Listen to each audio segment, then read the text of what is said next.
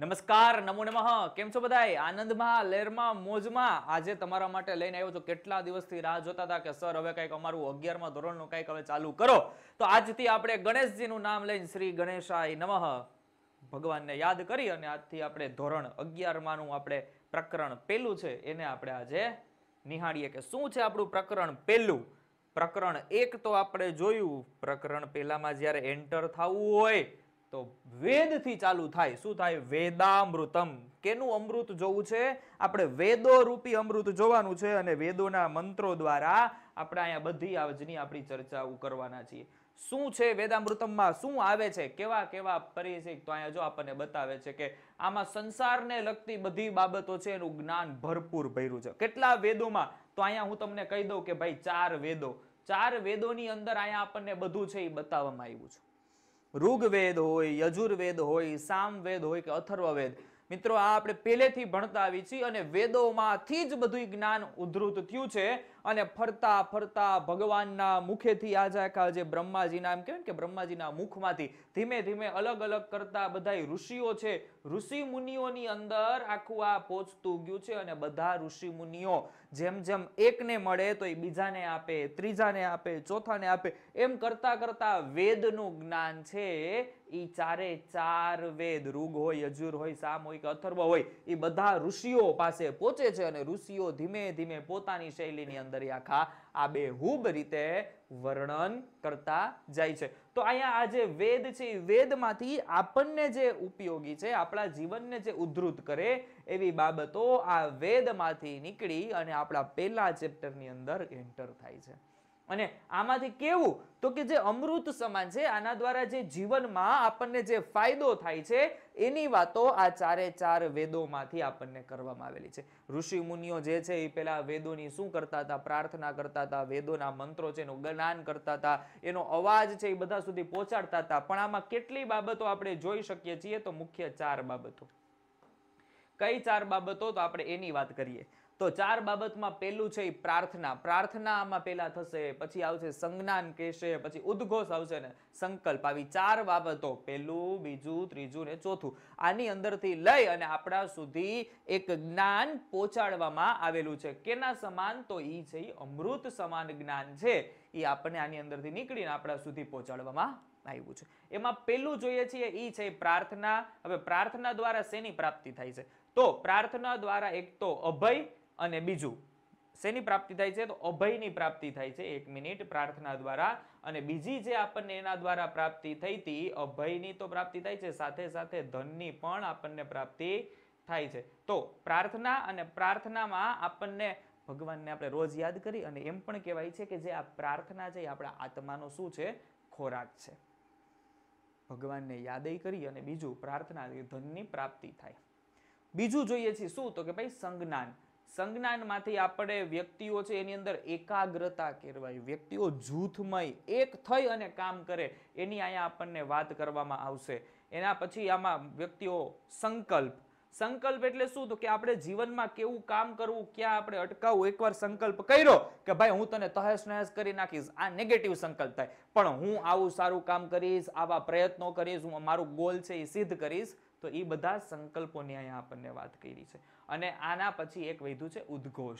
વ્યક્તિઓ બેઠા હોય અને વ્યક્તિઓને ભેગા લઈ અને બધી ચર્ચાઓ કરી, નવી નવું જ્ઞાન છે એ બધા વ્યક્તિઓ સુધી ફેલાવી. એની વાત આખી આપણને અહીંયા ચારે ચારની અંદર પ્રાર્થનામાં, સંજ્ઞાનમાં, પછી સંકલ્પમાં અને ઉદ્ઘોષમાં મંત્રો દ્વારા આપણને સમજાવવામાં આવ્યું છે. તો હજી આપણે આમાં આગળ શરૂઆત કરીએ. પહેલી આપણે પ્રાર્થનાથી. તો પ્રાર્થનામાં કેવા કેવા મંત્ર અને ત્યાંથી શરૂઆત કરીએ. પણ એ પહેલાં બાળકો અહીંયા કોઈ જાતિ પાતિ કોઈ નાત જાત ભેદભાવ એની કોઈ વાત નથી.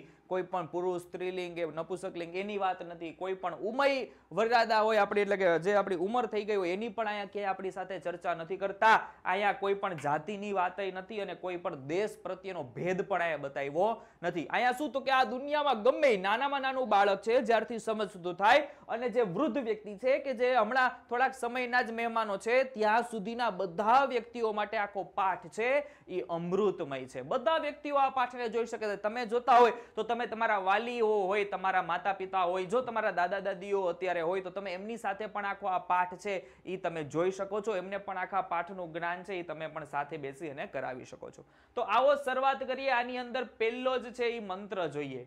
પહેલો મંત્ર છે એ આપણને શું કહે છે?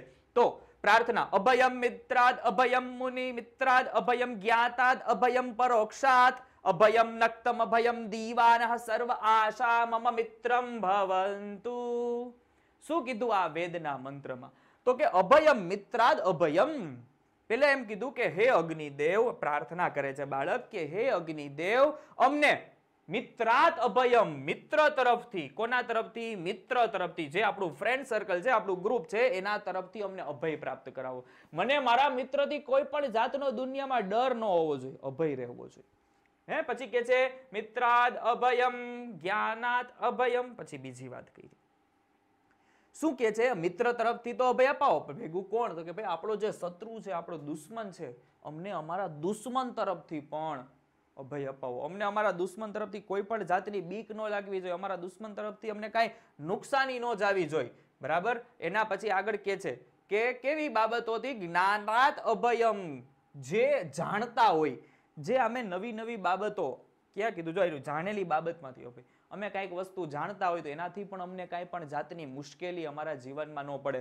મિત્રથી ન પડે, અમારા શત્રુથી અમે અભય રહીએ. પછી અમે કાંઈ જે કાંઈ પણ બાબત જાણીએ છીએ એનાથી અમે અભય રહીએ. અમને કાંઈ પણ જાતની મુશ્કેલી ન આવે. અને આગળ કીધું, અભયમ નક્તમ અભયમ દીવાનહ જે દુશ્મન છે, દુશ્મનથી તો ખબર છે, મુશ્કેલીમાં છે એ તો ખબર છે. પણ હવે આયા એવું કીધું કે જે નજરે નથી પડતું તેનાથી અભય. જે વસ્તુને અમે જોઈ નથી શકતા, નરી આંખે આપણે વ્યક્તિઓ કોઈને જોતા નથી, કાંઈ પણ એવી તત્વ હોય, કોઈ પણ એવી બાબત હોય, તો એનાથી પણ હે અગ્નિદેવ, અમને અભય પ્રાપ્ત કરાવજો. આગળ કે છે, દીવાનઃ સર્વા આશા મમ મિત્રમ ભવંતુ. દીવાન રાતનો સમય હોય અથવા ઈ અભય, રાતના પણ અમને શું થાય? અભયની પ્રાપ્તિ થાય. એટલે મુશ્કેલીમાંથી અમે દૂર થાય. રાતના અમે ક્યાંય પણ જાય, ત્યાં અમને મુશ્કેલી ન આવે. અને શું થાય? મમ મિત્રમ ભવંતુ, દિવસ પ્રાપ્ત થાય અને અમે મિત્ર સ્વરૂપે રહીએ. એટલે ભગવાનને અહીંયા પહેલામાં પ્રાર્થના કરવામાં આવી કે ભાઈ, દુશ્મન હોય કે કોઈ પણ બાબત હોય, અથવા કાંઈ જાણે એવી બાબત હોય કે મારો મિત્ર હોય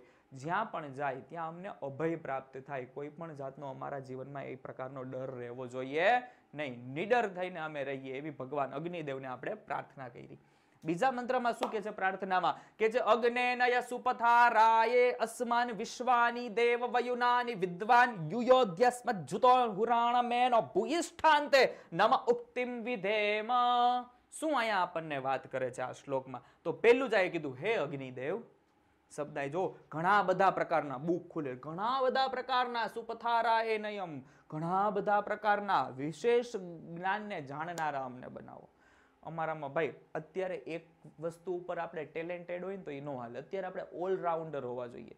આપણે આપણા વિષયમાં, આપણે ટેકનોલોજી સાથે, આપણે પેલા જૂની બધી બાબતો સાથે બધી સાથે સંકળાયેલા હોવા જોઈએ. તો શું કીધું કે અમે વિવિધ જ્ઞાનને જાણનારા થાય. બરાબર? પછી એને આગળ વાત કરી, વિશ્વાની, વયુનાની, વિદ્વાન. જાણનારા તો થાય, સાથે સાથે શું અમને પ્રાપ્ત થાય?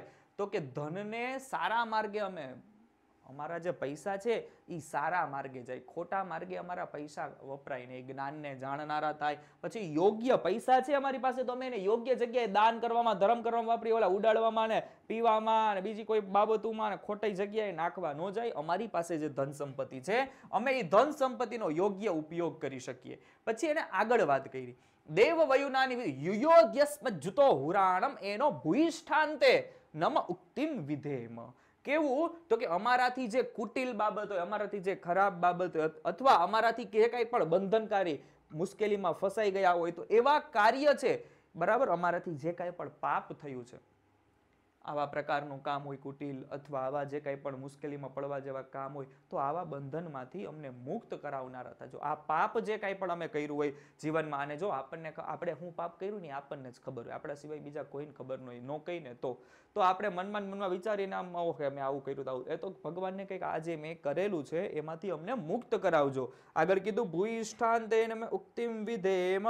એવા એવા વિસ્તૃત વચનથી હું તમને શું કરું છું? તો હે ભગવાન, હું તમને નમસ્કાર કરું છું, હું તમને વંદન કરું છું. કોને પ્રાર્થના કરવામાં આવી છે બંને શ્લોકમાં? તો આપણે અગ્નિદેવ છે, અગ્નિદેવની અહીંયા પ્રાર્થના કરવામાં આવી છે. હવે જોઈએ છે ત્રીજો મંત્ર, સંજ્ઞાનમ. શું કે છે આમાં? તો જોઈએ, સમાનો મંત્ર સમિતિ સમાની સમાનમ મનઃ સહ ચિત્તમ એશામ સમાનમ મંત્રમપી મંત્ર એવા સમાને નવો હવિષા જુહોમી શું આમાં તમને વાત કરી? હે હંમેશા જો તમે કહો, સાહેબ, તો જો કેવું સ્પીડમાં બગડા સટી બોલાવે છે. તમે જોશો એટલે તમે બગડા સટી બોલાવશો. અગિયારમું ધોરણ ને બારમું ધોરણ છેલ્લે સુધી, બે વર્ષ સુધી અહીંયા બન્યા રહ્યો. સાયન્સમાં હોય કે આર્ટ્સમાં હોય, ભૂકંપ ભૂકે ભૂકા, હો, સૌથી સારો સ્કોર કરાવો છો. દસમામાં જેમ તમે કર્યો હતો ને, એવી જ રીતે. શું કે છે આમાં? સમાનો મંત્ર સમિતિ સમાની સમાનમ. ભાઈ, તમારા સૌના જે કાંઈ પણ જો યુનિટી, તમારા બધાના જે કાંઈ પણ વિચારો છે, એ બધા વિચારો કેવા થાય? એક સરખા થાય. આપણે દસમા ધોરણમાં ભણ્યા હતા, હે? એવી જ રીતે બધાના મન જેમ થાય એવી રીતે આપણે બધાના વિચારો કેવા હોવા જોઈએ? તો કે એક સરખા હોવા જોઈએ. પછી એને બીજું કીધું સહચિત્તિમ જેટલા બેઠા છો એ બધા એની સાથે. હું એમ કહું કે ભાઈ, અત્યારે દિવસ છે, તો તમારે હંદાએ બેઠા બેઠા હાથ ઊંચો કરવાનો યસ સર. તો એ બધા ના વિચારો એક થયા. પછી હું એમ કહું, દિવસ છે ઓલો કેલા રોંઢો છે ને, એક કે રાત છે એક કે બપોરો ને, એક કે હવાર વેલી. એમ બધાના વિચારો કેવા હોવા જોઈએ? તો કે એક હોવા જોઈએ. પછી કીધું સમિતિ સમાની સમાનમ. જે તમારી સભા છે, તમારી સભા કેવી હોવી જોઈએ? તો કે ભાઈ, મતભેદ વગરની હોવી જોઈએ, એક મત હોવો જોઈએ. કે ભાઈ, હા, દિવસ છે, તો કે દિવસ છે. તમારા વિચારો એક હોવા જોઈએ અને તમે જે સભામાં બેઠા છો, એ સભા તમારા તરફ હોવી જોઈએ. તમારી બાજુ એ સભા બોલવી જોઈએ. પછી આગળ કે છે તમારી વિચારસરણી. આ બે વસ્તુ ઠીક, પણ તમે જેટલા બેઠા છો એ તમારા બધાના વિચાર છે. એ તમારા બધાના વિચાર પણ કેવા હોવા જોઈએ બાળકો? એક સરખા હોવા જોઈએ. પછી એમ કીધું, મંત્રમ મંત્ર એ એનો પછી એમ કે છે, બધાનું કેવું? તો કે, ભાઈ એક્ય વાળું થવું. જેટલા પણ બેઠા છે બધાનું મન એક્યતા તરફ જાય. બધાનું એક તરફનું કાર્ય થાય. આગળ કીધું, સમાનેન વા હવિષા જુહોમી. અને હું તમારા બધાના વિચારને માન્ય રાખું છું અને એક સમાન ભવિષ્ય વડે હોમ કરું છું. ભવિષ્ય એટલે શું? જે આત્મા આહુતિ હોય, ઓમ અગ્નયે. સ્વાહા. તો કેવા? તો એક હરખા ભવિષ્યથી હું શું કરી રહ્યો છું? અત્યારે તમારા બધાનું એમ કે છે કે હું હોમ કરું છું. ભગવાનને એવો પ્રાર્થના કરવામાં આવે છે. પછીનો શ્લોક શું લેવાની વાત કરે છે? સંકલ્પ. કેવો સંકલ્પ આપણો હોવો જોઈએ? કારણ કે આપણા દુનિયામાં જેટલા બધા પણ કામ હોય ને બાળકો, આપણા બધા કામ છે એ સંકલ્પથી જ સિદ્ધ થાય છે. તો શું કહે છે? સરદયમ સામનુષ્યમ મદ્વિદ્વેષમ કૃણોમિ વહ અન્યો અન્યમપી હર્યત વત્સમ જાતમ મિવાજ્ઞા. શું વાત કરી આ મંત્રની અંદર? તો શરૂઆતથી જ અહીંયા કરે છે. કે છે, સરદયમ સામનુષ્ય ભાઈ, હું સૌના મનને કેવા સમાન હૃદયવાળાને ભાઈ, જેટલા પણ છો ને તમને, બધાને કહું છું બધાનું હૃદય કેવા? હું તમને સૌને સમાન હૃદયવાળા, કેવા ગણું છું? સમાન હૃદય છે. આગળ કીધું, વિદ્વેષમ કૃણોતિ વહ સમાન વનવાળા અને દ્વેષ વગરના બનાવું છું. ભાઈ, સંકલ્પ એવો કહે છે કે હું બધાને તમારા બધા પાસે, આપણા પાસે બધાનું હૃદય છે, એવડું જોઈએ. કે હું બધાને સમાન હૃદયવાળા અને સાથે સાથે કેવા? તો કે જે દ્વેષ વગરના સમાન બધાયના એક સરખા બધાયના મન થાય એવું અને કોઈ પણ જાતનો એકબીજા પ્રત્યેનો દ્વેષ ભાવ, ખોટી ભાવના ન જાગે એવા બનાવવા ઈચ્છું છું. આગળ કહે છે કે જેમ અહીંયા એકબીજાને તમે જુઓ, પણ અહીંયા આ વાત કરી, હેટ કરે ને કોક લવ કરે ને આ લવ યુ ફવ્યું ને હેટ યુ બવ્યુ ને આ બધા અમુક અમુક દિવસો આવે જેની વાત નથી કરતા. કોઈ કોઈના પ્રત્યે દ્વેષ ભાવ ન કરે. હું બધાયના મન એક સાય, બધાય એક સરખા થઈને રહે એવી ભાવના હું બતાવવા ઈચ્છું છું. કેવી રીતે તો એને એક્ઝામ્પલ આપ્યું તમને? કે ભાઈ જેમ ગાય જેમ જન્મેલા વાછરડાને ચાહે છે. જો એ બાળકને તમે અ, વાછરડું જે છે ગાય છે એને એટલો જ એવી રીતે પ્રેમ કરે છે અહીંયા જો લખ્યું છે હરિયત વત્સમ અન્ય અન્ય જાત વિભાગન્યા તેમ તમે પણ બાળક એકબીજાને પ્રેમ કરે છે તેમ તમે પણ તમારા પરિવારને એકબીજાને પ્રેમ કરો. ભાઈ વાછરડું જે ઢોર થઈને સમજતું હોય છે તો આપણે બધા વ્યક્તિઓ તો માણસો છીએ. બધાએ એક પરિવાર થઈને એક સંકલ્પ કરવો જોઈએ કે બધાની ખોટી ભાવના આપણે દૂર કરી નાખશું. બધાની પ્રત્યે આપણે પ્રેમ ભાવના જગાડશું. જેમ વાછરડું એના બાળકોને આવી રીતે પ્રેમ કરે છે, પરિવારને પ્રેમ કરે છે, એમ આપણે પણ આખો આ દુનિયા છે એ આપણો પરિવાર છે, વસુધૈવ કુટુંબકમ. તો આપણે પણ એવી ભાવનાથી આગળ વધવું જોઈએ અને છેલ્લે આપણને ઉદ્ઘોષ આપે છે. શું કે છે? અયમ મે હસ્તો ભગવન્નાય મે ભગવત્તરઃ અયમ મે વિશ્વભેષજોટ્યમ શિવા ભીર્મનઃ શનઃ. શું અહીંયા વાત કરી? જો અહીંયા હાથ બતાવ્યો છે પહેલાં તો તમને. એ ભાઈ, અન્ના ઉપર. હાથ બતાવ્યો છે. શું કે છે? અયમ મેં હસતો. આ મારો હાથ. જો અહીંથી તમે આમ જો એટલે આમ તમને બતાવ્યું. ભાઈ, આ મારો હાથ. મારો હાથ છે એ કેવો રહેવો જોઈએ?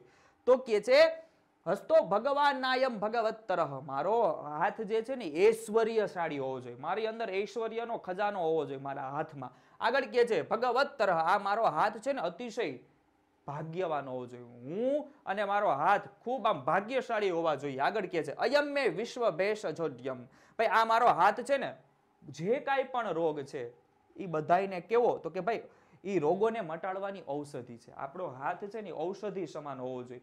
ભાઈ, બધી વસ્તુ દેવાવાળો હોય, આપણો ભાગ્યશાળી હોવો જોઈએ. આપણો હાથ છે એ બધી ઔષધિઓ વાળો ભરેલો હોવો જોઈએ. અને છેલ્લે વાત કરી શિવા ભીરમાસ અને આ મારો હાથ છે ને કેવો હોવો જોઈએ? તો બીજા માટે મારો હાથ છે એ કલ્યાણકારી હોવો જોઈએ. ઔષધિવાળો હોવો જોઈએ ભાગ્યવાન વાળો હોવો જોઈએ. અને આ મારો હાથ છે એ મારો હાથ તે કેવો હોવો જોઈએ? તો કે મારો હાથ કલ્યાણકારી હોવો જોઈએ. તો મિત્રો, આ થઈ ગયો છે આપણું મસ્ત મજાનો પહેલો વેદામૃતમ વાળો પાઠ. આઈ હોપ તમને બધાને આની અંદર ફૂલ મજા આવી હશે. તો હું આ વિડીયોને અહીંયા સુધી રાખું છું. નેક્સ્ટ વિડીયોમાં હું તમને ફરીથી બીજા ચેપ્ટરમાં અલગ અંદાજમાં, અલગ રીતમાં અને ફૂલ એનિમેશન સાથે મળવાનો છું. પણ જો તમે અગિયારમા ધોરણમાં હોય, બારમા ધોરણમાં હોય, દસમામાં હોય, કોઈ પણ નવમામાં હોય, તમે મારી સાથે જોડાયેલા રહેજો. પણ જો લાલ બટન નથી દબાવ્યું તો જલ્દીથી જઈને લાલ બટન દબાવી દો અને ચેનલને સબસ્ક્રાઇબ કરી લ્યો. કારણ કે અવનવા વીડિયો અને ફૂલ અંદાજમાં અને ફૂલ મોજડી સાથે અને હજુ સુધીનો આપણો રેકોર્ડ છે એ બધાને ખબર જ છે કે આપણી પરીક્ષા જે કોઈ પણ લેવાતી હોય છે,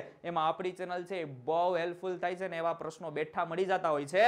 સબસ્ક્રાઇબ કરવાનું ભૂલતા નહીં અને જલ્દીથી વિડીયોને લાઇક જરૂર કરજો. નેક્સ્ટ વિડીયોમાં મળું. ત્યાં સુધી બધાને થેન્ક યુ નમો નમઃ. જય હિન્દ. you